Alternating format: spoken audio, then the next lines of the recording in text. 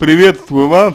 Э, конечно, очень жаль, что вы не говорите о том, в каком контексте мужчина э, указывает вам на то, что вы во сне называете имя, имя другого мужчины и, соответственно, соответственно, э,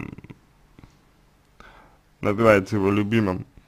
Вот, очень, очень жаль, что вы не, вы не пишете о том, в каком контексте он это говорит вам, то есть либо он предъявляет вам, обвиняет вас, либо просто понимает, что у вас, ну, у вас могут быть определенные проблемы и хочет вас поддержать, а может быть есть э, еще какой-то, еще какие-то моменты есть, вот, то есть мне кажется, что здесь, конечно, желательно все-таки определить вот эти, эти аспекты и понять, собственно, контекст, потому что одно дело, если это контекст обвинительный, вот, и совсем другое дело, если это контекст э, все-таки, ну, такой более безобидный, вот. А, значит, ну что, вы, а, возможно, сохраняете обиду на своего бывшего мужчину, вот, сохраняете обиду,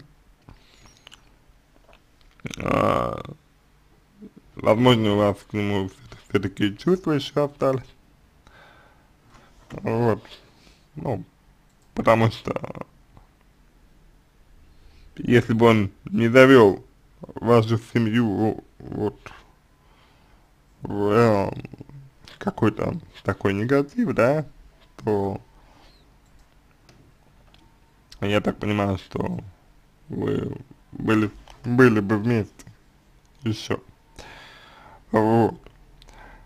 То есть мне кажется почему-то, что именно это является основ, основой для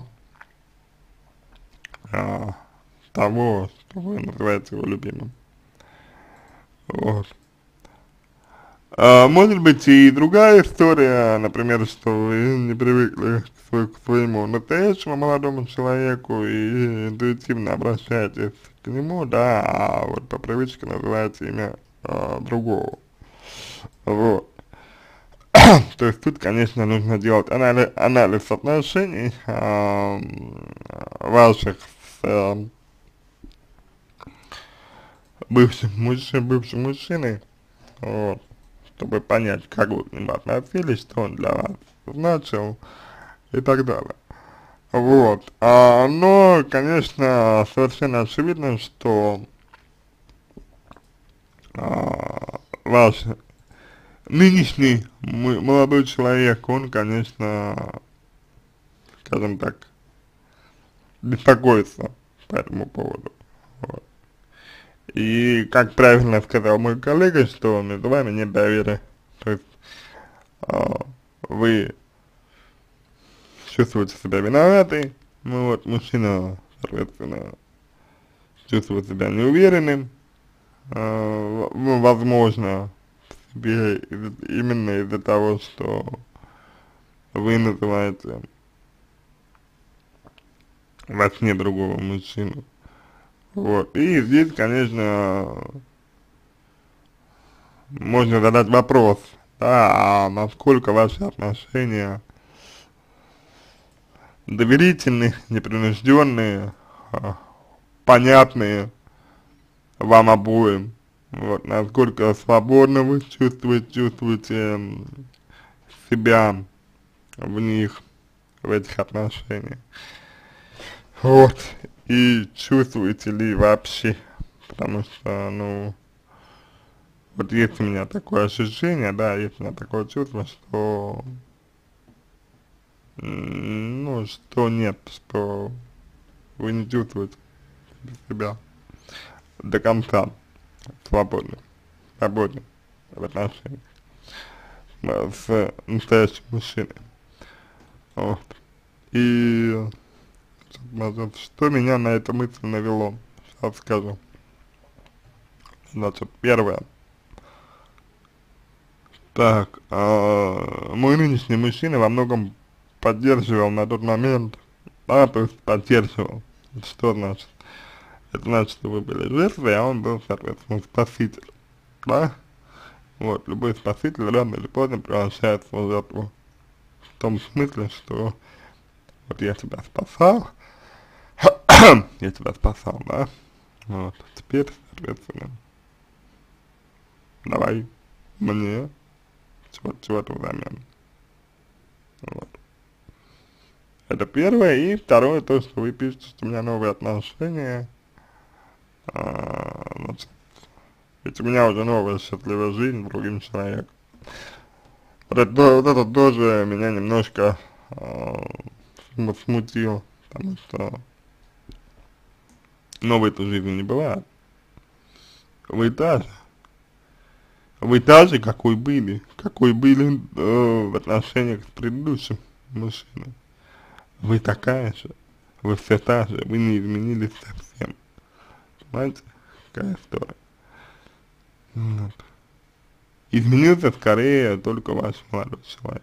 И то не факт, потому что если не изменились вы, то и вполне вероятно, вполне вероятно, что выбрать вы могли примерно такого же мужчину. То есть, ведь, если предыдущий молодой человек а, загнал вас в, ну, финансовые, финансовые трудности, как вы говорите, вот, то не исключено, что это, это связано с вашей позицией определенной в отношениях. Ну, я не знаю, в какой, может быть, это излишне пассивная позиция, может быть, это позиция Саша жертвенная, может быть, это э, что-то еще. Вот, так или иначе, так или иначе, э, данные аспекты нужно выяснять. Вот, так или иначе. Э, верить, э, верить стоит, верить стоит, потому что во сне, ну, человек может сказать то, что действительно беспокоит. Другое дело, что не всегда это интерпре э, интерпретируется правильно, да. То есть вот вы назвали имя человека, да, назвали вы имя, и назвали люби, любимый, да, сказали два слова, имя, да, бывшего мужчины, мужчины и любимый. И где гарантия, что во сне вы говорили не о двух разных, разных вещах? То есть вот есть имя этого же человека, а, на которого вы, например, обижены, ну, по той или иной причине, да, сейчас не будем говорить о том, как и почему. Ну, и когда вы говорите любимый, вы уже имеете в виду своего нынешнего мужчину. мужчину. Где гарантия, что это не так? Нет, нет гарантии. Ее быть не может, потому что ну, это работает вот именно так. Поэтому, поэтому вы э, действительно, как сказал мой коллега, посмотрите на свои отношения с нынешним мужчиной. Насколько человек уверен в себе, насколько вы в себе уверены. Понимаете? Вот насколько вы искренне друг к другу относитесь, вот. как вы друг к другу относитесь, свободно ли вы себя чувствуете, вот. Вот, это, это, понимаете, потому что еще раз повторяю, сон, сон, это не реально, ну, как бы не высказанные э, во время бодрствования мысли, э, сон, понимаете, ну, вот а, воспринимать его буквально, воспринимать его в тех вот причинно след, следственных связях, которые обычно человек использует. Это неправильно. Вот. Ну, еще раз повторю, вы не сказали главного, да, вы не сказали главного. Кон контекст. Какой контекст? Если, то есть мужчина ваш ревнует или что, когда он говорит об этом вам. Вы ему верите, что это так? Например. А, знаете, вот так, вот, вот это так. А есть ли у него реальные, ре, реальные основания, основания для того, чтобы, ну, переживать? Есть ли у него основания вам не доверять, например? Допустим, ну, допустим, я сейчас не говорю о том, что это действительно так. Понимаете? Вот. А может быть дело не в мужчине конкретном и не в вашем а, сне, а может быть дело всего немножко в другом, может быть дело в том, как вы выбираете мужчин, дело в том, а, какой именно мужчина вам нужен, может быть все в этом дело. Ну и соответственно, тогда уже пон пон понятно, на что вам нужно обратить, обратить свое внимание. На этом все. Я надеюсь, что помог вам. Если у вас остались вопросы дополнительные, пишите в личку, буду рад помочь. Если вам понравился мой ответ, буду благодарен, если сделаете его лучшим. Я желаю вам всего самого доброго и удачи.